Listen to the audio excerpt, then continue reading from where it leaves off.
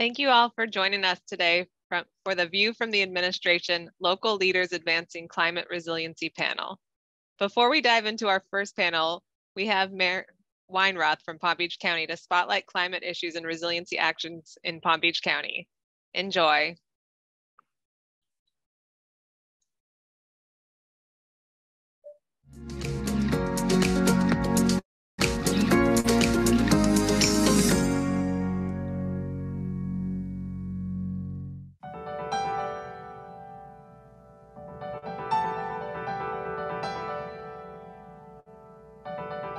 In South Florida, we know that we are affected by sea level rise. We know that we're affected by people who are on the roads every day commuting. And so to me, it is important that we are striving to control our environment, address the issue of the sea level rise as it's going to affect our infrastructure, encourage people to get out of their cars, walk more, have complete streets, and really put them closer to where they want to be.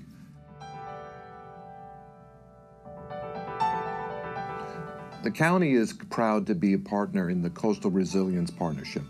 I think that's an important step in working with our partners, the municipalities and our counties here in South Florida, to be able to attack this problem on a regional basis. It's not enough for us to just look at it from a city basis or from a county basis. It's really a regional problem.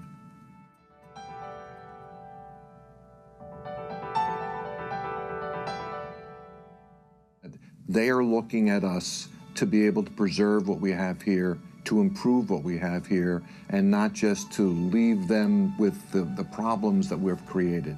I think that we are, as a board, trying to make sure that we're building an infrastructure that's going to support them going forward. Again, complete streets.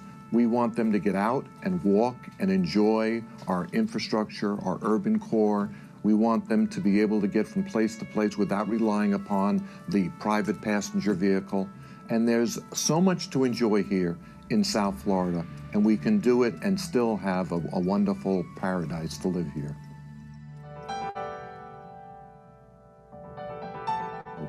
This is paradise. You know, going outside and enjoying this weather, enjoying the beaches that we have here, enjoying the miles of beaches, enjoying the parks. This is the place to live. And I certainly would never want to go back up to the Northeast. I, I love it down here. And I think that it's a great opportunity living here and enjoying what we have.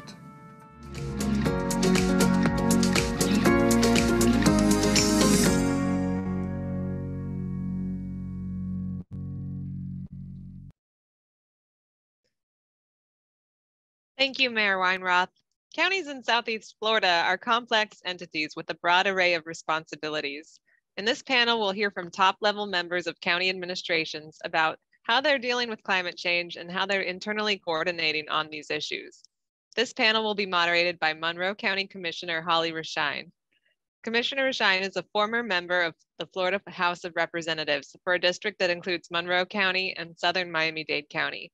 Recently, Governor DeSantis appointed Commissioner Raschein to the Monroe County Board of County Commissioners, seat District 5. Thank you so much for moderating today's panel, Commissioner. Thank you, Megan. Are we ready to get started? All right. Yesterday, we heard from elected officials from the four compact counties about how they're working to promote resilience and sustainability. Today, we'll hear from members of their administrations, the staff members charged with putting board direction into effect. I'm happy to introduce our four panelists. First, we have Verdenia Baker, Palm Beach County Administrator. Next, Bertha Henry, County Administrator for Broward County. We also have Chief Operations Officer from Miami-Dade County, Jimmy Morales.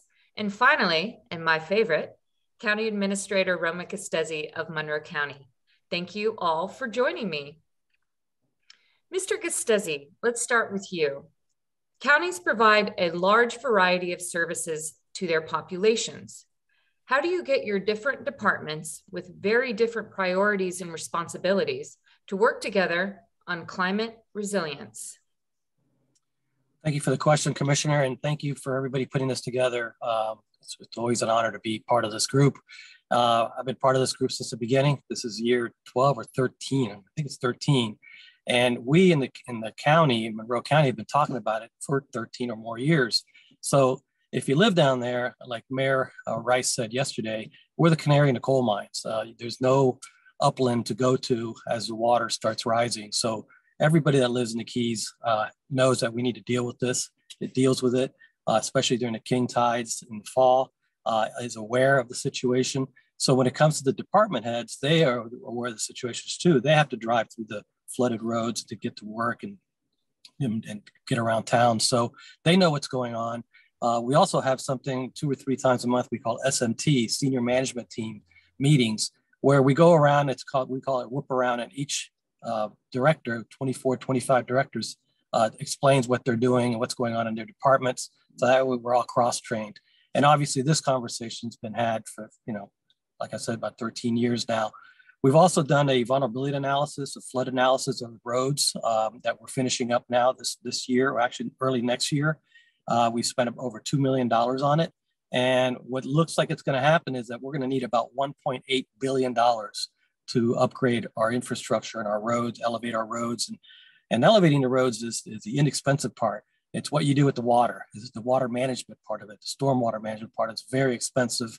And since we don't have big land masses, we have to pump it underground, which is very expensive to maintain the pumps and those kind of things. So uh, getting back to your questions, it's it's it's our in our DNA. We know we have to deal with it in the Keys. We are the canary in the coal mine, so everybody's aware of it. It's easy to get all the departments working in the same uh, direction.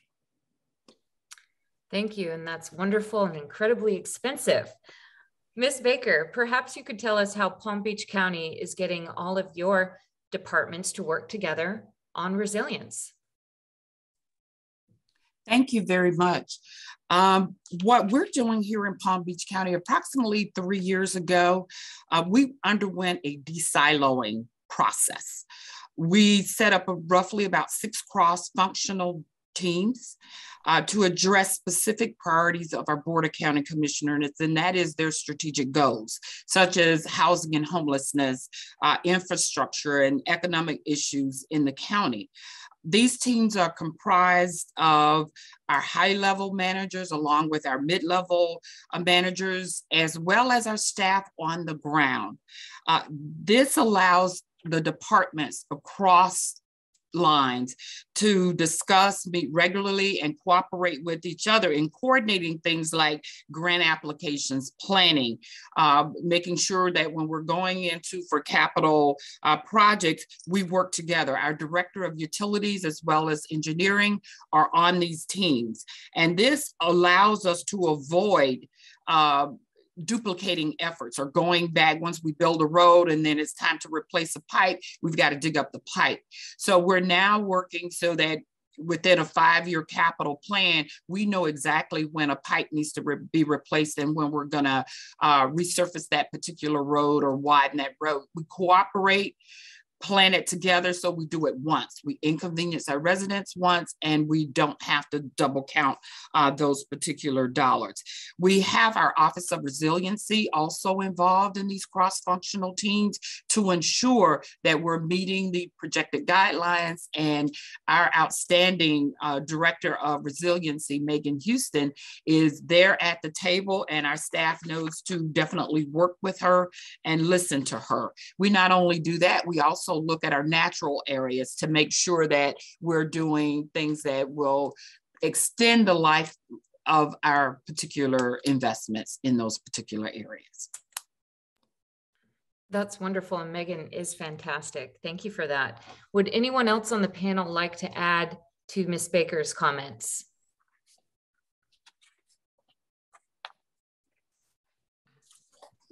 Commissioner uh, Jimmy Morales, and, and, you know, in Dade County, the, uh, the role, Miami-Dade County, the role of the Office of Resiliency has, in fact, helped uh, work across silos. Um, you know, we went through a Resilient 305 process with the Rockefeller Foundation and two of our cities, Miami and Miami Beach, uh, and and and by having that office focusing and working directly with all of the departments and getting them to work together, uh, it, it, it, really does uh, reduce those silos and, and get people talking. Mayor Levine Cava came in and, and has continued that with uh, you know weekly cabinet meetings of the chiefs who to whom all these departments report. So we're coordinating uh, very regular uh, meetings with all the department directors, uh, and and I so I think um, in addition to just what necessity has mandated, uh, we really try to have an organizational structure where people are working across departments because these solutions are multi-department in nature. They sure are. Thank you for that. Ms. Henry, COVID has been an obvious priority for the last year and a half.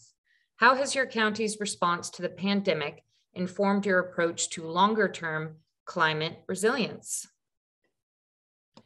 Well, first and foremost, it, it reemphasized the importance of planning and preparation.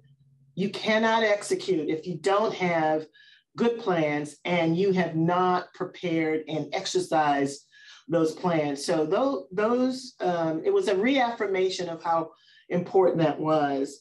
Um, when I think about um, other lessons learned on this issue, I'm going to start with collaboration. I have to tell you that I spent more time with Ms. Baker and Jimmy Morales's um, predecessor um, during the, the height of the pandemic than I did through my entire career. Why? Because collaboration was key. It was really important that um, just as climate change, you can't limit it to a specific geography. That you this is a uh, this is a planet issue.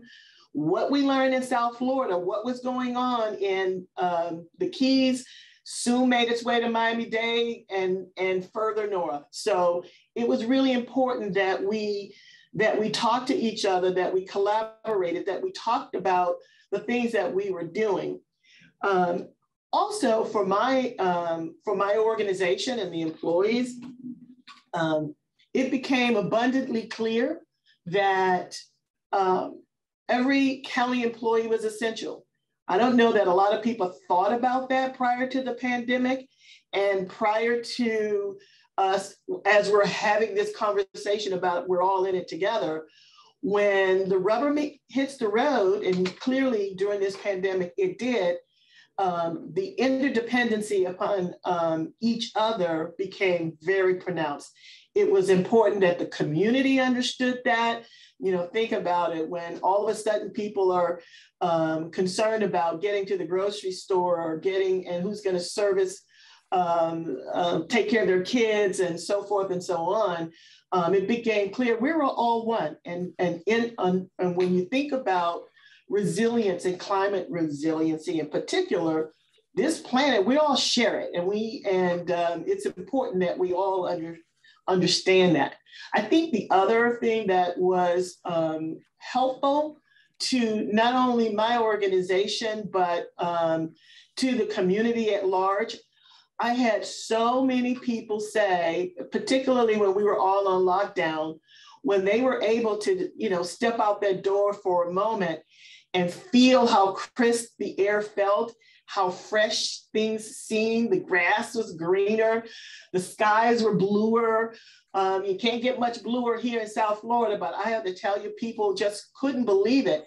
The animals were coming out and they were free to roam. It, it said to all of us that when we, um, when we talk about the ravages of, of what we are doing to this planet and that it is correctable, that we can fix it. We had an opportunity to see it live and in action. So people that were skeptics in the past, we lost a lot of that skepticism because we were able to demonstrate that it can happen, it can make a difference, and, and we're all the better for it. And that is so true, so true. I love how you encapsulated that. That's just the visual was amazing. And absolutely, collaboration is key in all of these things. Thank you for that. Does anyone else have anything to add?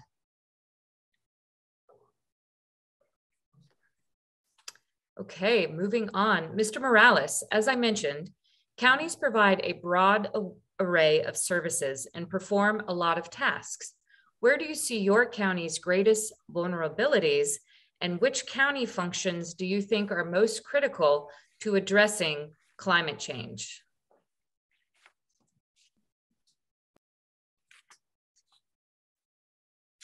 Don't forget to unmute. I know you're saying great things. I, I should have had this down by now. Sorry. Commissioner, you know, the biggest vulnerability we face is really with our water system. Uh, we've got the Everglades to the west, Biscayne Bay and the Atlantic Ocean to the east. And so we're dependent on that unique balance between land and water. Um, but, you know, one of the greatest challenges we have is the tens of thousands of homes and businesses that are on septic systems uh, in our community. Um, over 120,000 properties in Miami-Dade County are still on septic tanks. I myself live in a neighborhood where I have no ability to connect to a sanitary sewer system. And I live in an infill neighborhood in Coral Gables. So you can see the challenge we have. These systems are already failing because of rising groundwater, contributing to the decline of Biscayne Bay. They pose a public health threat during extreme rainfalls and rain bombs and during king tide season. Now, the good news is the county is, uh, particularly through the offices of our water sewer department, put together a septic to sewer plan of action. But we cannot fully implement it without some help from the state and the federal government. The price tag is obviously very high because it's not just helping people connect to a sanitary system. In many areas, you've got to build out the sanitary system. The mayor and commission are working diligently to seek federal and state funding. Uh, and our water and sewer department has already initiated, where we do have funding, projects in some of our most vulnerable areas, like the Little River Basin. Also, I think, like other compact counties, the people in our county are vulnerable. The pandemic has highlighted the vulnerability of our workforce that is dependent on tourism and how vulnerable people are to income disruption. Building climate resiliency, therefore, cannot be done in a silo where projects do not also advance social equity, lift people out of poverty. You know, the mayor recently released her, her Thrive 305 action plan, which is aimed at transforming the way the county does business to improve accountability and transparency, while also driving forward meaningful community engaged planning like that of our adaptation area action. So, with respect to the county, uh, from our fire and police stations to our wastewater treatment plants, we have to be proactive in planning for climate resilient infrastructure that's able to withstand current and, even more importantly, projected climate impacts. So, whether it's elevating our critical facilities, adding solar power and battery backup, we're working across the government departments to integrate climate resilience. And we're using it as a lens through which we do business.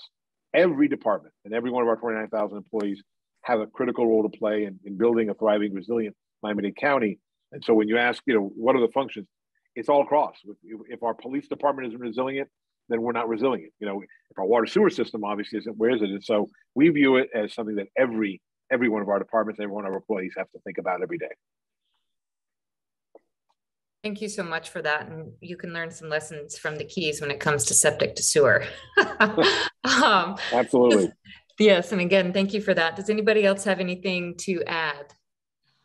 I would also say the good news is that um, we're all sort of suffering from the same issues in the region. So you don't have to have um, a, a county centric response uh, to a lot of these issues. So when you when you look at this, and this is why we have this four county uh, compact, um, again, you're looking at it as a region. So the things that you may have missed uh, initially, when you find out what's going on in the keys, because I learned from, from Roman and so forth and so on, that you need to make sure you start plugging those holes too, because eventually you'll you'll suffer with that. So you don't have to tackle um, these issues um, alone um, or on your own. And eventually you're going to feel the impact or see the impact that your neighbor to the north or the south um, has seen. So we're all suffering with some of the same issues. And if we approach it from the perspective of we're learning from each other, uh, maybe we can short circuit the learning curve. I agree with Mrs. Henry on and and uh, Jimmy Morales on that particular issue, and I know Roman also agrees. It is our regional approach that has assisted us throughout this process, uh, even with you know, before the pandemic, we had our regional approach uh, with hurricanes, et cetera, other disasters impacting us, and we're able to reach out. And I do believe the sewer to septic is a major issue for all of us, not just within our region, but to the region north of Palm Beach County, uh, that we're going to have to address it. Our board was very instrumental in approving us utilizing some of our CARES as well as our ARPA dollars to do some sort of septics. And so on our schedule, we're moving a lot of our, the result of our, the remaining portions of our park off septic onto sewer because if county government doesn't do it, who else is going to do it? We've got to start the trend to ensure that we're protecting our waterways, uh, not for now and into the future. Uh, we're also, we've got resiliency tied into our capital plan to ensure that we're not missing anything. And as the actually county managers and administrators throughout the state, when we do our whip around at our FACT conference, then we also talk about the various issues impacting us. And we we are able to make sure that we're covering those aspects that we personally have not thought about at home. But when others bring it up in those meetings, we then investigate and we're able to assist each other. So it is just not our region. We've taken this process. Thank you, Bertha, because you were the first from South Florida. Uh, but we've taken it, you know, statewide to make sure that we're communicating with each other and sharing our experiences. Uh, that way, counties also know this could hit us and here's how it can be handled. And that's wonderful feedback. And that's exactly, you ladies hit the nail on the head. That's exactly why we have events like this is, is all that discussion, all that collaboration. Actually, Ms. Baker, you're up next. How does your jurisdiction work to ensure that climate equity is being addressed? That is making sure we are providing climate adaptation and mitigation solutions for those most in need.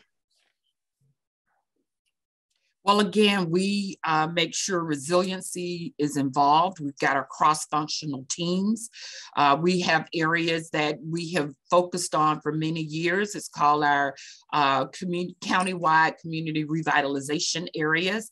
Those are our most vulnerable communities within the county, and we work uh, collaboratively with our municipalities on their areas. But we make sure that when we're going in, let's take, for example, rehabbing homes we look at, and we've got a cap, and we look at how do we make this home a bit more resilient whether it's replacing the roof or if we've got to replace windows, we throw in impact windows. That not only helps us during the next disaster, but it also helps on the electric bill. It keeps the houses cooler, it keeps them uh, warm in the winter, which we don't have much of a winter to keep things warm in. However, you know, the air conditioning. And so we're looking at all of those aspects uh, with the extra dollars we've got coming in for housing infrastructure. We're we're going to make sure that we focus not only on our more affluent areas or even our areas that is utilized by most of us, but definitely not leave out our uh, low income communities. Because when we float one boat, if we're doing the right thing, all boats will float. And we want to ensure that our residents uh, we, you know, we've got a challenge with affordable housing in South Florida and especially in Palm Beach County.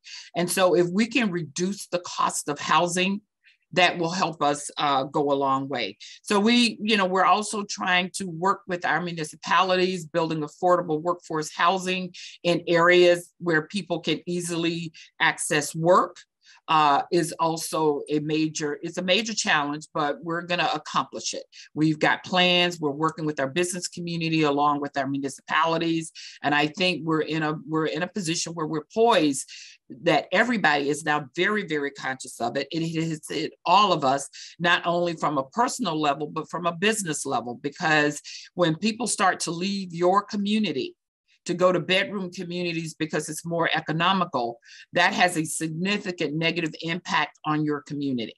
Uh, the dollars that your taxpayers are investing in businesses uh, is now being circulated in another county. So we need those dollars to come back and be circulated within our own community. So we must build resiliency not only in our businesses, but also in our homes.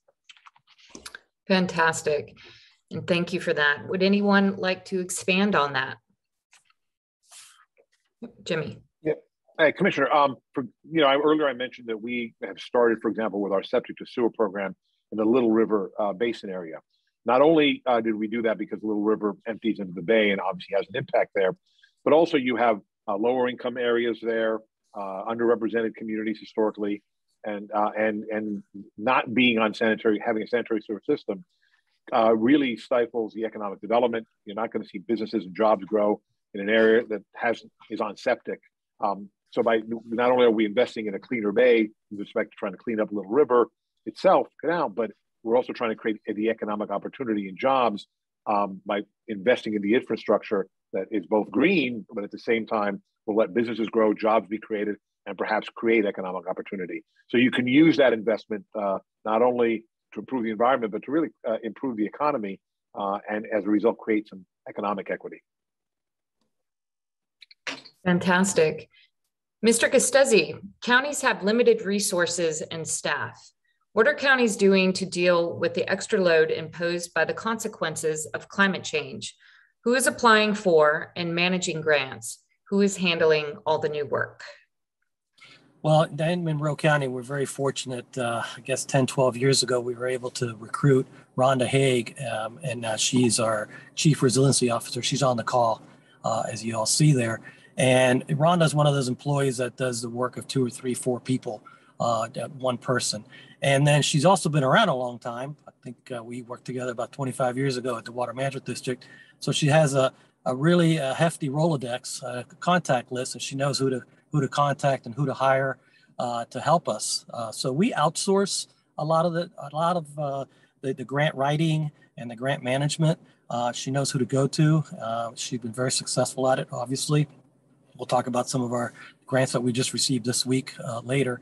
And, uh, you know, we, we also have our legislative affairs director, Lisa Tennyson. They work closely together because, you know, once you, you, you, apply for the grants, then somebody has to bird dog these things up in Tallahassee and in Washington. And we have a pretty robust team of lobbyists and consultants uh, that they both manage and they cut them loose to, to, try to get some of this money that we've been getting. And we've been very successful at it because of them too. So, uh, you know, in our case, we, again, very lucky. We have very, very good staff uh, that is very knowledgeable, has a, has a great understanding of South Florida and who's who in Tallahassee and in Washington.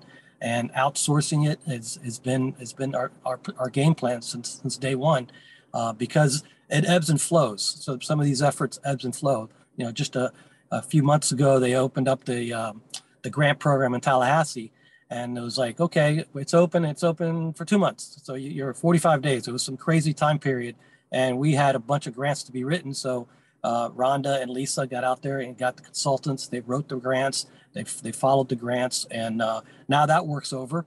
And then as we get the grants, then we turn to management, and then a different set of outsourcing is, is required to uh, to manage the grants. And again, they know who, who, who to go to. We go to you to the commissioners, and we get the uh, support. We've always had the support from the commissioners when we get these programs going.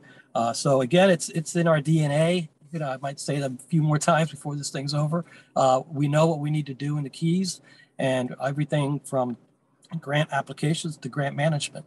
Uh, so, uh, our, our guess in the nutshell, we outsource the work as needed. I, I will also, I Go will ahead, also, please.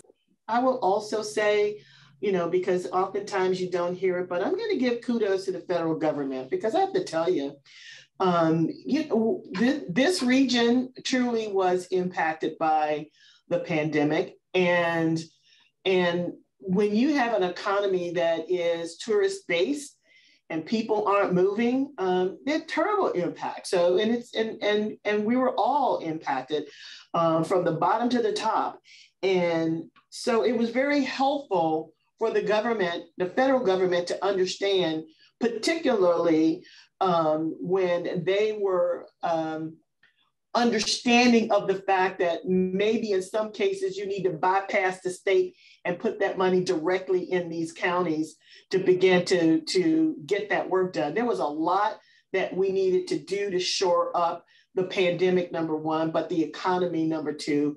And um, you know, it was very helpful to be able to, to depend on those dollars and, and move quickly to get that. Um, I agree with um, with Roman. We uh, we were able to put some small businesses to work. Um, so whatever programs that we uh, we were initiating to pull ourselves out of this, we tried to keep in the forefront that um, our local businesses need to be a part of that.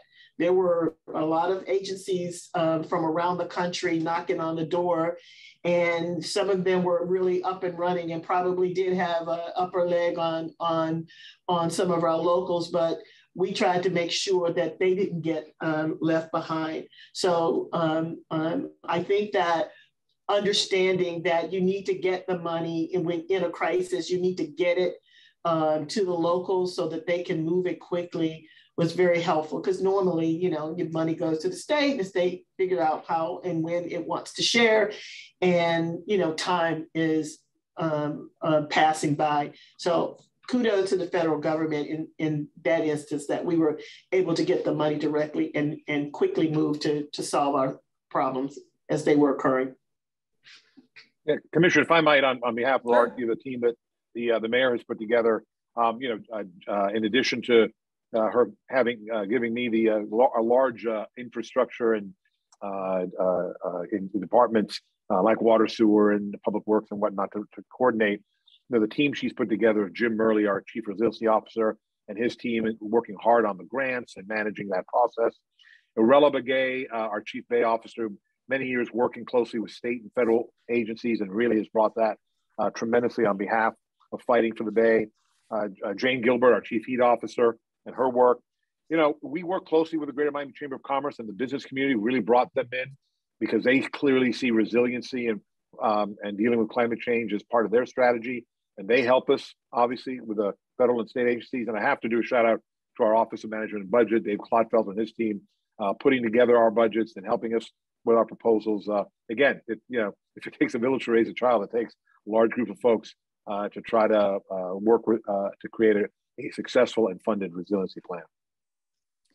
I'd like to also add, uh, now I, I can't let the other uh, administrators talk about their staff and I don't talk about the outstanding team PBC we have here in Palm Beach County. We've talked about the D-silos. So when we talk about infrastructure or we talk about housing and homelessness, we've got all those agencies across the board working together. But most of all, not only the federal government, but our own local government. My commissioners have been extremely supportive of projects and outlines that we brought to them with their input. They've given us the direction to move forward on specific items and how uh, at the end of the day, they want it done. However, they've allowed us the flexibility to move dollars around to make sure that we're meeting the strategic goals that they have outlined within the federal rules. We have worked with our, our friends at NACO, who has gone to Treasury and got the specific answers that we needed and how to plan and implement expend these dollars so that in future years they don't come back and claw those dollars back out of Ad Valorem. So I think NACO gets a huge shout out FACT gets and their staff gets a huge shout out from us locally because we have been working through them, as well as the League of Cities at their national level. They have been working with us to ensure uh, we are working with our federal agency treasury uh, you know when they started with cares was the first time that they actually implemented such a program and so a lot of the rules came at a later date when we were trying to get those dollars out the door as fast as we possibly could to our businesses in our community as well as our residents.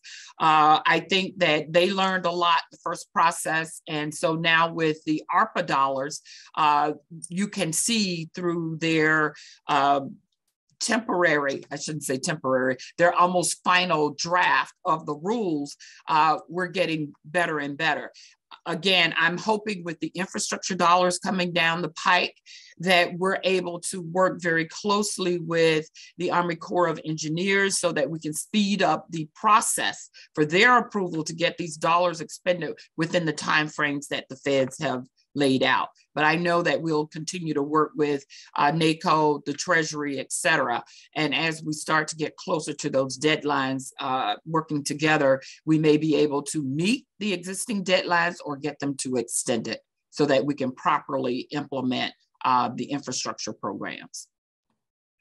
Excellent. Don't you worry. I wasn't going to leave Palm Beach County out. I was just about to call on you because uh, as a former staffer myself, it's always good to, uh, to get those accolades. Ms. Henry, the four counties of the compact have dedicated staff for resilience work, but many municipalities do not, which we just heard about the League of Cities. How can they start dealing with climate change without dedicated staff? So um, if um, if they if we all uh, subscribe to the thought that it's it should become a part of everyone's DNA and that you put systems in place to make sure that you're looking at um, the issues of resilience and and you're collaborating within your county with your with your municipal partners. No one wants to get left behind. Um, you you the more you talk about it the more you tout the benefits. Um, we're we're putting um, a resiliency website in place so that every city um, and, and and maybe down to communities within cities that have initiatives that they want to share that that we're sharing it because that that that sparks the ideas it sparks the enthusiasm um, for, hey, I can't, my community can't get left behind. Um, it's interesting in Broward, um, we have, unlike um, um, my uh, counties to the north and south, we have a very, very small uh, unincorporated area. So um, our municipalities make up um, the, you know, the, our, our, our county. And, and so they recognize early on. And I'm going to kudos to the elected officials because I will tell you that that we have have and have had elected officials who um, are were you know rabid about the issue. I mean, they were you know they were pounding the administration to make sure that you know it gets pounded into you. You when you come talk to me um, you need to tell me about this. And I and I can I can remember sitting on the dais and having commissioners look at me and said, "Are we? What are we putting on the roof of that building? Why don't we have a plan to make sure that we have photovoltaics on that building? Why have it?" So after a while, um, you you don't want to be left out. And I and I think with within municipalities and also having that dialogue with uh, their colleagues and now um, and having a real effort to promote what everyone's doing you don't want to be left out. You will start to make sure that you have something to brag about. You, you know we can all we all like to have have that. And so um, as um, more and more people are incentivized with that um, in any way that you can I, um, I i think it's it's a good thing.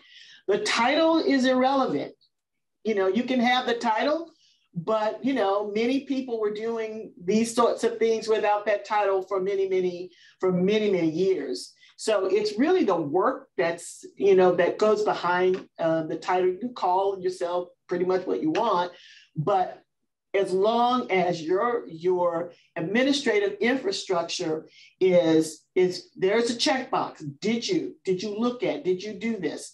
Um, who did you collaborate with? And um, are, you sharing? Um, I just had a conversation with one of my uh, commissioners at the last Tuesday's commission meeting.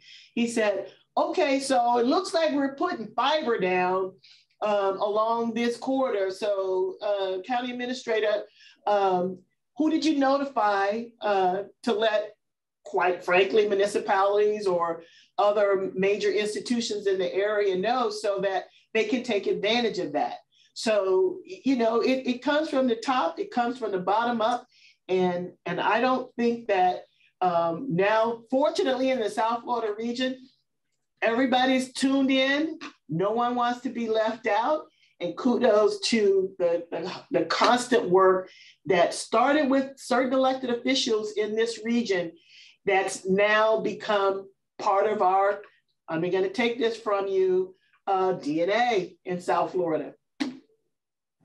I like it. We're going to have to name something after DNA. Would anyone else like to comment? Yes, I'd like to comment on that. Uh, I think as leaders of the county, we have a responsibility uh, to encourage uh, the cities uh, to, to move in this direction. And in Monroe County is a perfect example. Luckily, we only have five cities, uh, but Rhonda has been uh, after those five cities to do a LIDAR elevation study um, for a couple years now. We did it over two years ago. It's expensive um, and they haven't done it. And finally, she, you know, went and got in front of each each uh, council and commission, and now they're doing it. And now they see the importance of it. As this grant program came out uh, six months ago, they weren't ready because they didn't have the elevation data. So all of a sudden, they're they're they're now they want to do it because they know that there's money starting to flow from the state and then the feds next. Um, but Rhonda's been, you know, just encouraging them for years, and finally was talk was able to talk them into it and help them. She got, uh, you know, preferential treatment uh, from the vendors and got good pricing because they're going to do all five at the same time. So as county leaders, I think we, we, we should be helping out the municipalities. Let's face it, we have a little bit more resources most of the time than they do. So I think that's important. Roman, I, I agree with you. And I, I believe in Palm Beach County, we've definitely collaborated with our cities. We've done, we've been doing the LIDAR uh, for a period of time because that also helps with uh, our ratings as far as how resilient we are, where our issues are, the infrastructure problems. And so we've got the LIDAR and we do share it with our cities. But in addition to that, uh, we here in Palm Beach County, we're lucky because we ha- we've got 39 municipalities here in Palm Beach County. Uh, in addition to that, we work closely with them. We've got some municipalities uh, that have dedicated staff to uh, resiliency and sustainability. And so that has helped us a, a, lot. They tend to be our large municipalities. However, having said that, uh, we currently have been successful in collaborating with seven of our municipalities in all sizes along our coastal resiliency uh, partnership of uh, Southeast Palm Beach County. And those partnerships include city of Boca Raton, uh, which is 100,000, around 100,000 people, as well as Ocean Ridge with a population of Ripley uh, around 2,000. And all of the communities involved have pitched in and provided what resources they could on a joint vulnerability assessment. That has significantly helped us. Uh, we ended up with a grant, we're working together, and these are our coastal communities that uh, with King Tide, you know, roads are flooding out. And so we all need to plan because it when it impacts one of our cities, it impacts the entire county uh, for that uh, you know, for that reason. And uh, also our smaller communities uh, along the coast is a bit more costly to live, but we do have pockets of lower income areas. And so with the planning of this and identifying uh, our vulnerability and, and establishing uh, mitigating situations for it, it will benefit all of us and put us in a position so that we can actually draw down funding. I think the other thing Broward County did, and I and and and um, I felt I, I feel like it's been helpful, um, is that we put out challenge grants. So our board, um, as part of its general fund budget, set up a fund um, that we could that we would make available to uh, municipalities um, when they have resiliency projects um, that they could um, actually apply for. So it helps our smaller municipalities um, from an economic standpoint. So counties, um, you know, we uh, we're very fortunate that that um, my entire board loves the leadership on this. I mean, they're all they're all together. There's no there um, there's no question that this is something that is a priority for the county, and they're willing to put their money where their mouth um, is at this point, and um, and and and make major investments um, for the community that our municipalities can tap into. That's fantastic. And um, I'm sorry, panelists. I uh, we have a very robust Q and A building, and so this is going to be our final topic that we're going to discuss, and it's one that I want to hear about because it's self-serving. And uh, Mr. Morales, we're going to start with you. County administrations have collective experience. What advice do you have for mayors and elected officials, especially as term limits and elections keep elected officials changing quite regularly? How does staff keep elected officials engaged? Jimmy, let's start with you. Yeah, no, we, we need to work very closely with the elected officials. You know, resiliency um, is a challenging, uh, um, it's expensive, uh, it can be disruptive, you know, ripping up roads, elevating roads, putting in large infrastructure you know most taxpayers and voters don't want to spend more money uh, and have uh, disruption in their life and so um, uh, and and so from, from a political perspective it's easy to sort of not do anything let you know kick that can down the road. Um, but as we know all that means is things get worse and more expensive. Um, and often it takes an emergency like we you know all of a sudden the bay became important when a couple years ago there was a huge fish kill and all of a sudden people said oh my god what's going on? Even though advocates have been talking about it for years.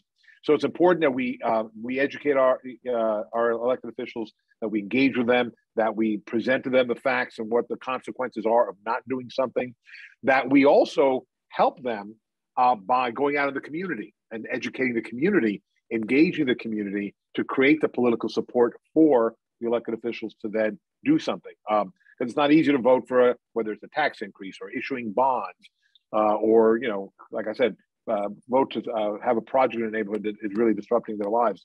So um, I think uh, a more educated electorate uh, about these issues, and these are complicated issues, um, uh, will I think helps the elected officials. And the more they know about it and understand it, the more also they can effectively uh, communicate so that um, you know they can they can we can keep the momentum on these projects. Because even when you do have an emergency, you know whether it's a fish kill in Biscayne Bay or huge flooding on Miami Beach on a sunny day, you know, at a certain point when you, you, you sort of stop the, you know, fix the emergency issues that are short term, you can also lose momentum because people then say, okay, we fixed the problem. Uh, and that's not the case. This is not a problem you fix. This is one you have to adapt to and, and, and learn to live with over time and mitigate. Sure. And you, you can't, you sort of can't take your foot off the pedal uh, for too long with this. So I think we got to create um, the support base for them, the elected officials, and make sure they are, are educated so they can educate uh, their electorate as well. Fantastic. And we'll just go down the line. Roman, anything to add? Uh, just a little historical. We started uh, this discussion in this in this uh, compact 13 years ago. We had commissioners uh, on on our commission, in Monroe County, that didn't want to talk about it. They were quote deniers, and not only were they deniers, they didn't want to talk about it because they thought it was going to affect our economy, it was going to affect our real estate, and you know, it's not happening, it's not happening, you know. And then the tide has totally changed. Now, I think I don't think any any elected official will get elected in the Keys if they don't talk about what we're doing and moving forward. So it's it's it's, it's done a complete 180, um, and it's it's it's at the top of the list of what needs to be talked about and done in the next few years, no doubt. So um, it's for us, it's easy. I mean, we're you know again canary in the coal mine. So nobody's going to get elected in the Keys without talking about sea level rise and adaptation. So noted. Miss Henry. I, I am going to make this easy. Ditto Jimmy, ditto Roman. Um, again, being a part um, of this collaborative for as many years as we've been, and and people seeking to be elected to um, you know the county commission, they're going to be asked about this. They will be um, they will be queried about this, and so the more they're educated, the more knowledgeable they are, the more we we get converts. So ditto um, to those comments for both of them. Fantastic, Miss Baker to uh, to round us out. I'm going to say ditto to all three that spoke earlier. I I know the most important key is continuing to educate the community on this and they will be asking those questions they will be demanding uh, i believe that my existing board i'm quite sure with the other three counties you are all very conscious of it because it's, it's hitting our business community it's affecting our home ownership uh, we're going to get to the place where we you know we're going to have to uh, look at insurance policies and whether our people can can afford the insurance on this. We've got to build resiliency. And I think in our all in our five-year and 10-year capital plans, they're there. It is going to be incumbent upon staff as new board members come on to make sure that they're uh, educated, that they understand why we've got certain uh, elements within the capital plan so that we don't constantly change that plan year after year. But if we stay consistent, we'll make great strides in making sure we've got the proper infrastructure in place to lead us into the future. Thank you. And thank you all. This has been really incredible and wonderful discussion. Now we're going to take some questions, Q&A from the audience, and we only have nine minutes left. And we have some, I'm looking over here in the chat, some really fantastic questions. So to the audience, I apologize if we don't get to all of them. And just panelists, remember to try to keep your, your answers succinct so that we can plow through some of these.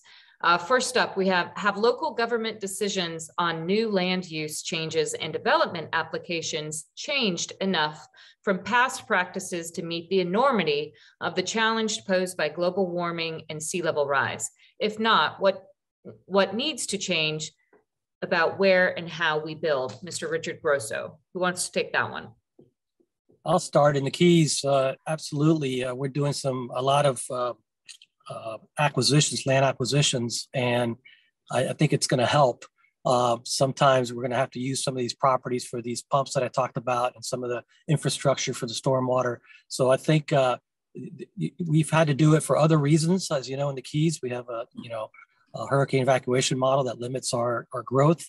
Uh, but now we've morphed into getting some of these properties to, to use as infrastructure uh, for some of these stormwater projects that we have to do in the, in the near future. Okay, awesome. Thank you. This one is uh, near and dear to my heart, so we're going to go with it. Do you all feel supported by Tallahassee in your resiliency planning efforts? Can I take that one again? Because uh, yeah, we got five million dollars this year. I mean, just this week, uh, finally, the, the, Tallahassee is is on board. They have a program now.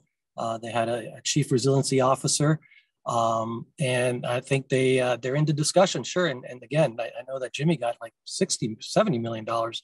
Uh, we got five, which for us is a lot of money. It helps with the two projects. So yes, I think Tallahassee's on board.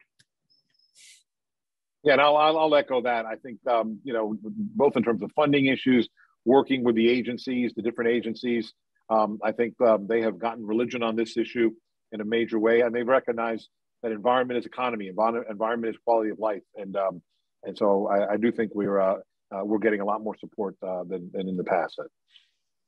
And I look forward to uh, continued support from Tallahassee into the future because Ms. Morales is absolutely correct. If we don't protect our natural areas, uh, you know, our businesses, it's going to have a significant negative impact. And we've got a lot of businesses moving to South Florida. So we've got to ensure that we are protecting the environment. And I do believe Tallahassee is starting to see the light on that particular issue. And if I may, Commissioner, I'll never lose miss an opportunity to suck up. And uh, you were a big part of that. Your last eight years that you were there, you started that conversation eight years ago. So thank you for your leadership. So, uh, so noted. Uh-huh. The water related climate risks are coming from both sides, not just along the coast.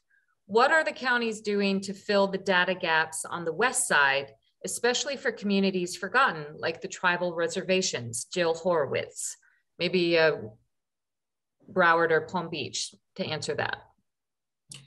We are addressing uh, those issues. We're looking at them. We're working with our agricultural industry, uh, and it's primarily our glades areas, uh, which is our lower income type neighborhoods. So we are focused. Our district commissioner, Commissioner McKinlay, never ceases to say, hey, we need to be focusing on this particular areas and the rest of the commission does support it.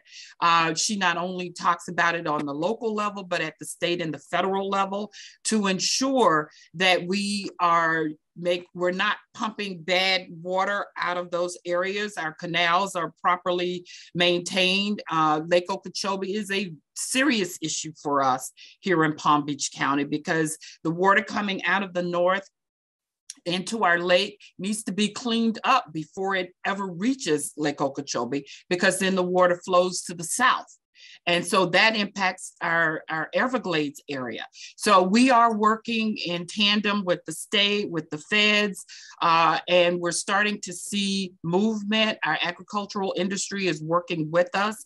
So we've got a partnership that we're starting to definitely move forward and make sure the water in our Western area, drainage, you know, uh, the cleanliness of the water coming out of there uh, is is being taken care of.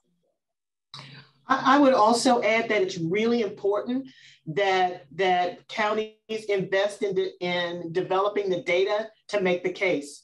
Um, um, we have been working with the South Florida Water Management District about um, the, the condition of the pumps. We know um, that um, where we are today will not be sustainable in the future. So we're having to invest millions to start to to perform these studies so that we can walk into whether it's the water management district or the state or the federal government and put and put in front of them here's here's why this is critical here's what is happening you know we can get past the you can't you see it to now we can actually show them data and and as i said just we're spending millions to do those studies so that we can go with a targeted request to invest and be able to show what the what the results and the consequences of either working with us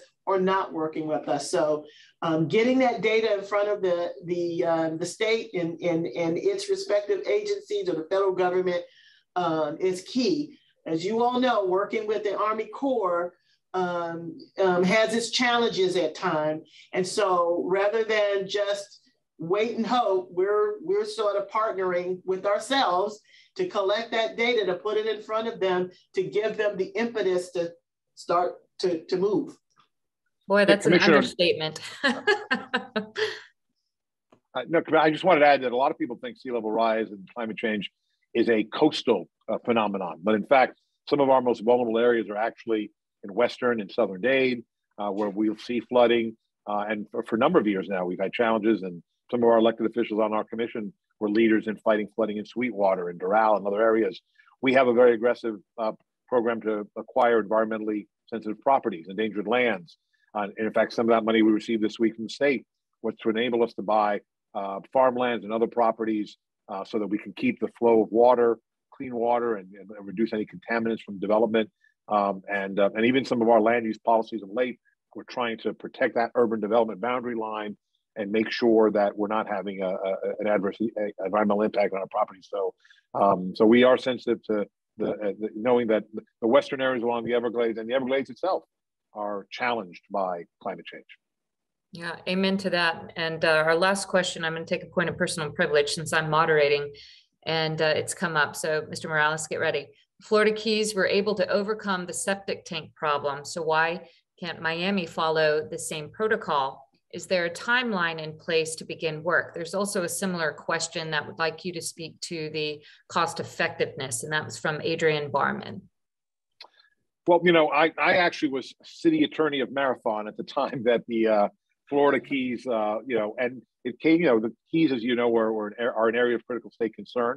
It was a mandate that came down from the state, and um, and uh, part of the program I know Marathon was that the, you know, this, uh, there was funding that was obtained. Uh, I think some uh, federal and state funding to help with it, but also bonds issued.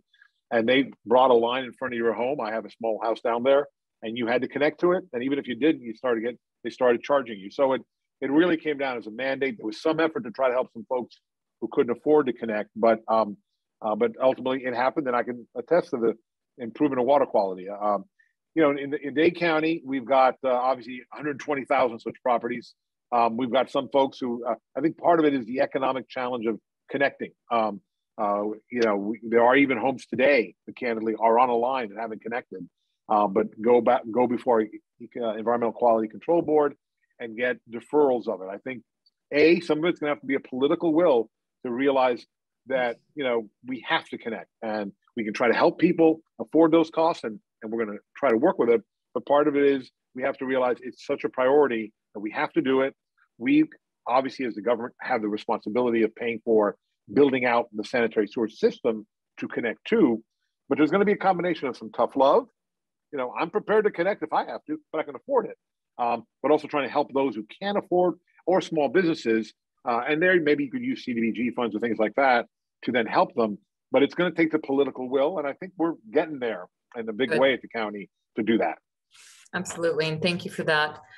Well, everyone, I'm afraid that's all the time we have. I'd like to thank all of you for taking time out of your very busy schedules on this beautiful Friday to share your experience and your insights with us.